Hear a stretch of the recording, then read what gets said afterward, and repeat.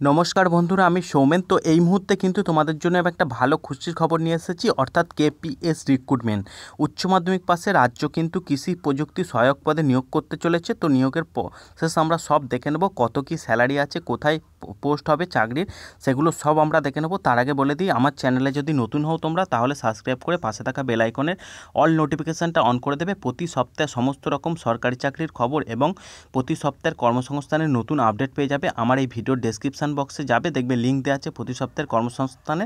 তো ওখান থেকে লিঙ্কে টাচ করে তোমরা ভিডিও দেখে নিতে পারো। তো এই কৃষি প্রযুক্তি সহায়ক পদে কী কী প্রসেসগুলো আছে সেগুলো আমরা একবার দেখে নেব।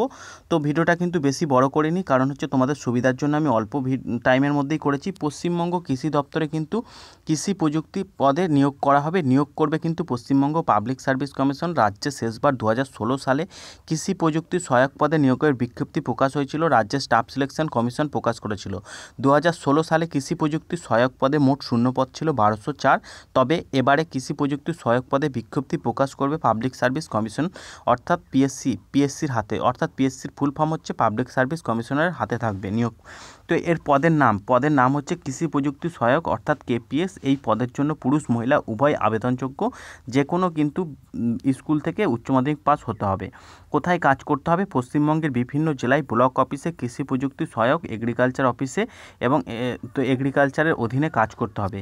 এই কাজের পদোন্নতি রয়েছে। কৃষি প্রযুক্তি সহায়ক পদে কিন্তু পদোন্নতির সুযোগ রয়েছে। কেপিএস থেকে নিম্নলিখিত পদোন্নতি হয়। তো farm manager assistant farm manager agriculture officer ইত্যাদি।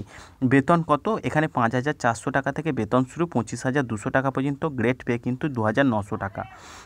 মোট শূন্যপদ এখানে কত আছে? অফিসিয়াল বিজ্ঞপ্তি এখনও প্রকাশিত না হলেও সূত্রের খবর কিন্তু সাতশো প্লাস শূন্যপদ রয়েছে। নিয়োগ প্রক্রিয়া কিন্তু খুব তাড়াতাড়ি শুরু হবে।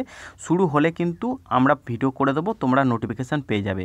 শুধু চ্যানেলটিকে সাবস্ক্রাইব করে রাখবে। শিক্ষাগত যোগ্যতা যে কোনো শাখায় উচ্চ মাধ্যমিক পাস থাকলেই ছেলেমেয়েরা আবেদন করতে পারবে। বয়স হতে হবে আঠেরো থেকে চল্লিশ বছরের মধ্যে আবেদন করতে পারবেন সংরক্ষিত শ্রেণির। অর্থাৎ এসসি এসটি ওবিসিরা বয়সে কিন্তু ছাড় পাবেন। আবেদন পদ্ধতি আবেদন করতে হবে অনলাইন অনলাইনে পাবলিক সার্ভিস কমিশন অর্থাৎ পিএসসির অফিসিয়াল ওয়েবসাইটে আবেদন করা যাবে। তো একটি বৈধ ইমেল আইডি থাকতে হবে। ইমেল আইডিটা কিন্তু চালু থাকতে হবে।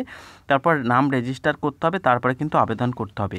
এই নিয়োগের অফিসিয়াল বিজ্ঞপ্তি এখনও প্রকাশিত হয়নি। অফিসিয়াল বিজ্ঞপ্তি প্রকাশিত হলে কিন্তু ওয়েবসাইটের মাধ্যমে সর্বপ্রথম জানিয়ে দেবো আমাদের এই চ্যানেলের মাধ্যমে। তো বন্ধুরা, ভিডিওটা যদি ভালো লাগে তাহলে কমেন্ট বক্সে অবশ্যই একটা কমেন্ট করে জানাবে। আরও ভালো ভালো সরকারি চাকরির খবর এবং প্রতি সপ্তাহের কর্মসংস্থানের নতুন আপডেট পাওয়ার জন্য। তো বন্ধুরা, নমস্কার। zakat